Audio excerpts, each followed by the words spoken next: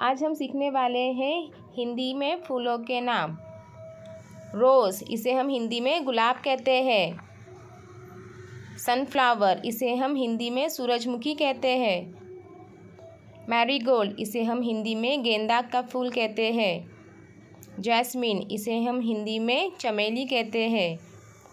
Lily, इस फूल को हम हिंदी में लिली ही कहते हैं। लोटस, इसे हम हिंदी में कमल का फूल कहते हैं।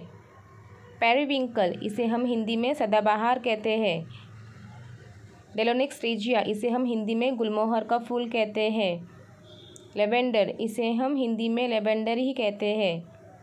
और मोगरा इसे हम हिंदी में मोगरे का फूल कहते हैं।